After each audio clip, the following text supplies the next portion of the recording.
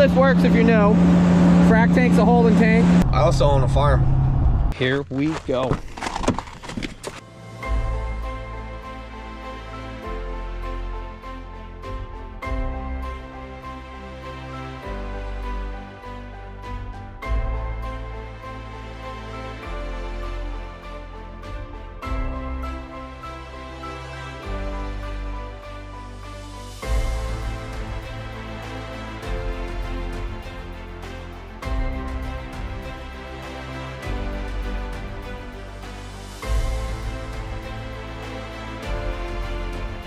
You're now watching the 2024 season of Farming with Duffy Ag.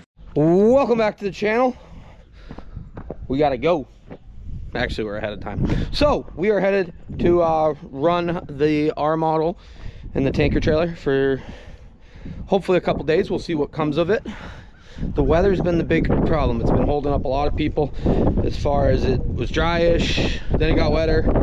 Well, it wasn't dryish, but it was doable. And then all of a sudden we got more rain. So appreciate you guys watching along. I got to unload the torches and we got to load some things into the truck. As we see, it snowed a little bit here. I don't think it snowed where we're going, but uh, hopefully we have a good day. Appreciate you guys joining along. I just thought about it. I never opened my drain valve thinking, and uh, it's 25 degrees today. Uh, we are gonna be frozen. That pump is gonna be frozen. Uh, well, at least we made it easy enough to open it up. I, didn't even think. Amateur hour. Go back haul manure and not even think about nothing. So, alrighty. I guess we're gonna go mess with that.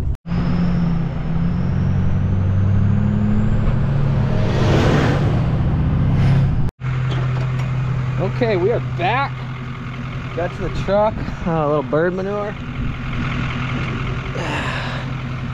I uh, have some concerns like the pump being frozen. Um, also, my other concern is I'm trying to check the oil.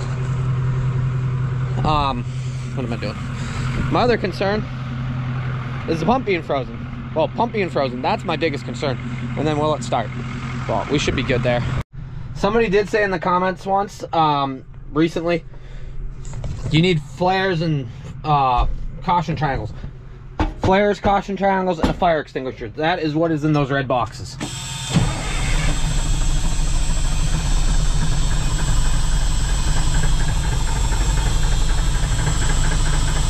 A little cold, but she'll go. We'll let her warm up.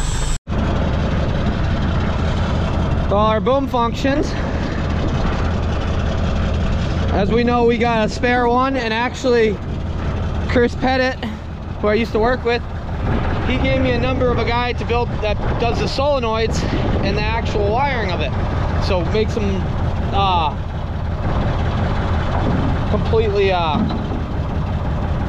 no fittings or anything, no gaskets. Self self-contained solenoid setups or something. That's probably not right. Somebody write in the comments.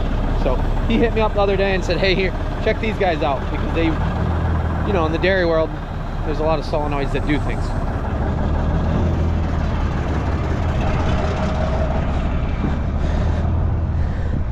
So they got their triple mower set up there, all washed up and good to go. Ooh, it is not frozen. Alrighty, we just pulled out of welcome stock. Neil let me park the truck there. I appreciate it. We'll probably be back doing a little bit of hauling there. Um, maybe right to tank or maybe dragline. I don't really know. It's gonna get busy towards the beginning of April. Everybody's gonna want to run. This wet winter has kind of held up some people. So we're moving about a half mile and we will be hauling um, to frac tank and they're drag lining into a grassland bar, um, dribble bar. So we got everything for this truck for the PTO and for the silage truck. So hopefully we have a good day and we make some money back. Because um, as Aaron said, he's got everything for the Superliner, but at the end of the day, checkbook's getting really thin and we got to make some money this year. So that is kind of all part of it. Trucks cost money, but they're a necessary evil. And when they're good, they're good. And when they're bad, things get expensive quickly. So I can't see around that house. There we go.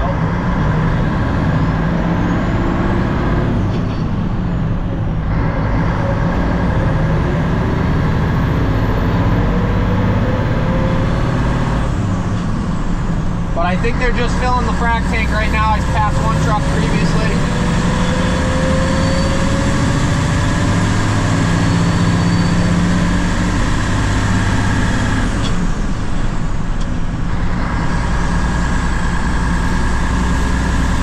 So we gotta swing all the way around, which takes forever to be honest. I'm worried about ripping this line off.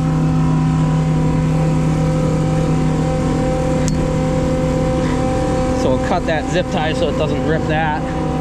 Push those back down and around. But yeah. This will be about fall and then they'll get gone. So there they are, applicating away. Well, we're keeping right up, so truck leaving. Another truck just pulled ahead. We're of up together, but we can two trucks can offload at the same time as long as it's guided out. Me swinging all the way over doesn't work that great, but I got in a rhythm of it. So they wrapped up that section as you see the applicators doing the outside. They got some there, some here staying pretty busy. So just saw Gorski.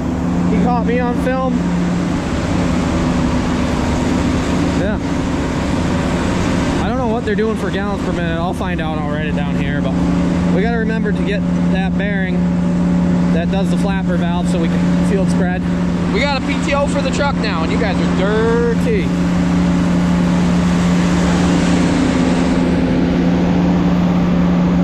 So how this works if you know, frac tank's the holding tank, and then that's actually pumping it to the lead pump, and then that goes out through the drag. So I believe they're on six to five inch drags. So the red hose that's out there is the actual five inch, um, that's more flexible and you can pull on, do stuff like that. But yeah, staying busy here. Got more red hose for drag on the front, air compressor for when they want to blow out. Another truck coming in.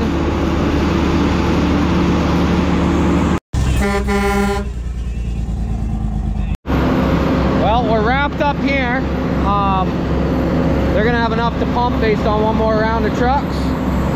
So this is my last one here, and then uh, we're going down the road. We've been there before, right next to the train tracks. Makes a nice big turnaround. Uh, they'll finish what they got here, and then they'll pump out or blow out and get everything moved. So they're dribble barring onto here because there's actually cover crop, and I believe they actually chopped the cover crop. Um, if it's if it's good enough quality, otherwise they work through it. Cover crop for soil health, and you can use it, utilize it for feed. You get to Pennsylvania and South, they don't call it cover crop; they call it an actual crop because usually there's quite a lot of farms actually that chop all of their ground and then plant corn into it. So they utilize the rye or triticale or um, bar, well, wheat. So rye, triticale, wheat, barley. Barley's shorter. So yeah, a lot of options with it, but it's all in management practices and land base. We have come down here before. There's a there's a good section here, and they are going to get moved over. Um, yeah, it actually goes out. There's there's a good section here. So there's a turnaround right at the end. Train tracks go by. I'm gonna adjust the timing on the fuel pump and see if we can get. I get a little bit better drivability, I think I'm on the less laid back side. I think I could get some more out of it. Okay, we got it adjusted a little bit. I'm gonna see how it runs. Gonna go find a tennis ball in the cab. We've been throwing a little bit. They got one truck down here to move around stuff, and they're getting everything lined up. That is the one thing. So, dragline technically three people. Technic, yeah, three about three people sound real good. Hose humper, applicator, and then uh, got the frac tank or jumping around doing stuff. So when you got to move, they got to move the frac tank, tractor with the frac tank. They got the cart that goes on the hose humper, um, applicator, the pump, and the air compressor. So it lines up where they got to move a few things, which I know there's some crews that you see out here. You don't see much of it where they got carts on carts on carts and they're moving stuff. Um, them pumps and stuff weigh a lot. I will, and the big air compressors weigh a lot too. So moving around, switching, but once they're running, like I don't even know how many. So we probably did six or seven round trips, maybe more than that. I'll do the math. Give me a second. So theoretically, if we did six trips, um, like 3,000, 300,000 to 330, but yeah, with the foam, because we are at a place that is separating, um, with the foam, you can't fill the tankers very full every time, but let me climb up there and show you where I'm at with it. So as I'm filling, I got an indicator. We got to change it up. So it's a PVC tube with ends on it and it doesn't float very well in foam, especially when it gets filled. But as you see, it splashes up out of here. So I know it's slow down. And yeah, so we are probably like 95% full. And uh, well, here comes more people, more of them. They're moving the equipment. Okay, she is back. Alternator's been good. As we've talked about, the Green Mack has the same alternator in it. We just got to pull the front off and uh, probably get it rebuilt. I'd rather not have a spare that isn't rebuilt. I do see that this line, we got to put different ones here. Got a little bit of an oil leak there, but otherwise she's back good. And we'll see how she runs. I adjusted timing a little bit. Frac tanks here, they're moving everything else. We're gonna start filling the frac tank. That way when they get here, they can be good to go. So a little bit of move around. I pulled down here because uh, I was the first one not to go back and James was gonna help move, but Mikey's in the truck with Steve and yeah, we're good to go. Okay, so they got all the hose laid out. Got the zigzag because they're length sections. And then out here and he's headed out to go hook onto the other end of the drag. And then they'll start priming the pump. So we'll get away from here. Manure doesn't kill you usually.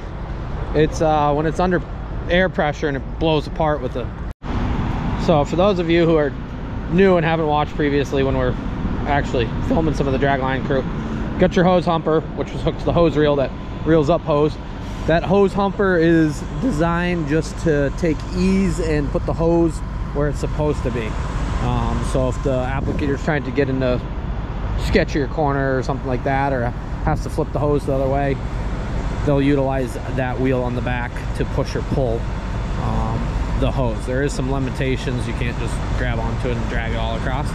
Well, frac tank, giant holding tank, 28,000 gallons, I think. And then getting charged up to the lead pump.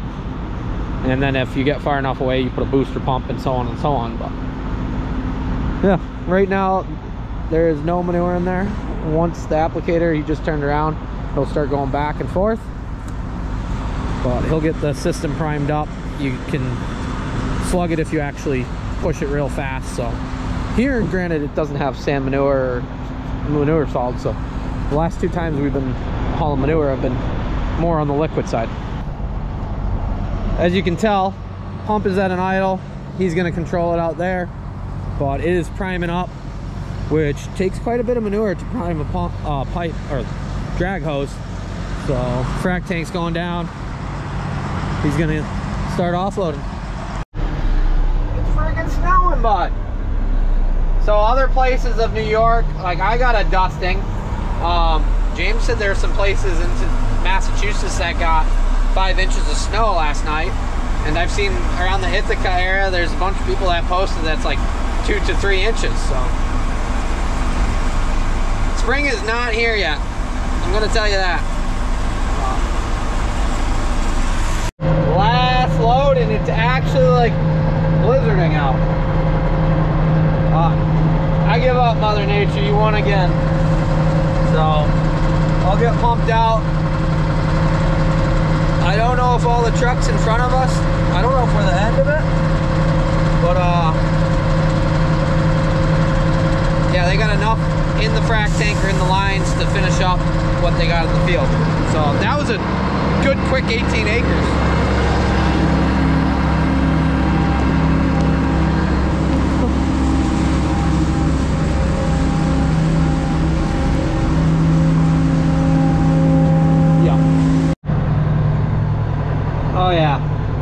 Only got about three passes left there.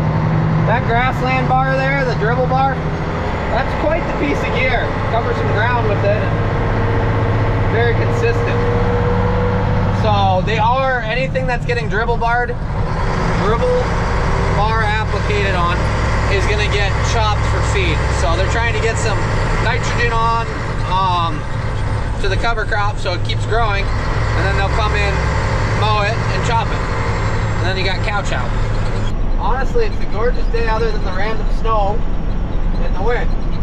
Like sun's out, blue skies. So we are done for the day. We're gonna go back. We got Mack parts we could work on. Probably should do that for a little bit. Um, this truck, we do have the new PTO for it. It was a pretty penny, but once it's on, we will be able to field spread.